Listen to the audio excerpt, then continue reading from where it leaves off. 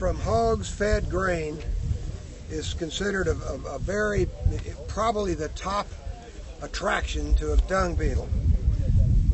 You might have heard, you might recall the name Truman Fincher. Pat mentioned him several times. He's the godfather. He's the guy that introduced all of these good beetles into this country. Something like 30, and I think maybe 10 or 15 took off to various degrees.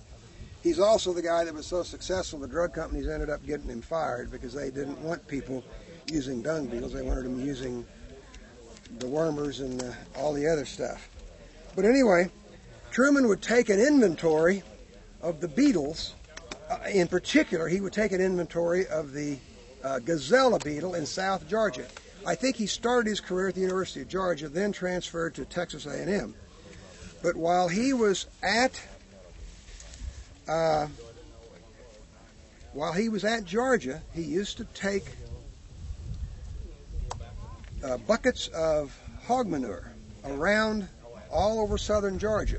Now he says, I, am not aware of this, but he said the counties down there are small. It was only 15 or 20 miles from one county seat to the next. And so they were making a survey to determine if there were gazella beetles in each county. And they would open up their five gallon bucket of pig shit and the aroma would waft out of there, and within two minutes, they would normally have beetles flying around them. If there were no beetles within 15 or 20 minutes, they would write that off as a no as a non-gazella county. Now that's how effective hog manure was. But Wayne Bailey and I discovered something a couple weeks ago down at uh, Wordack. The calf, and I started to mention this, I don't think I finished it up. The calf uh, paddocks had a whole lot more dung beetles than the cow paddocks. And the only thing we could see was the grain in the, in the calf manure. Now, those calves had just been wormed with Ivomec. Mm. Now, that should have killed them, but they were very much alive and looked very healthy to us.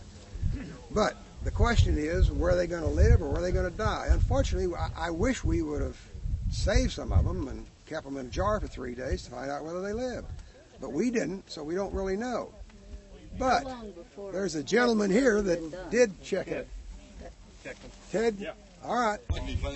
Ted found out a few days after we discovered those those uh, beetles down there that their number had been greatly reduced. So maybe the Ivomec did take effect. But when we saw them, they looked great. I mean, they looked as healthy as they could be. And there were a lot of them we would find six or eight in a patty with, with no trouble. you now, were looking at adults, right? You weren't looking at larvae. right. Oh yeah, I can't tell a larvae from. Uh, that's by, way beyond my ability. But you, you, clearly, these were uh, Onthophagus beetles, clearly dung beetles, good dung beetles, and there were a lot of them in that calf dung. Whereas over in the cow paddocks, very, very few.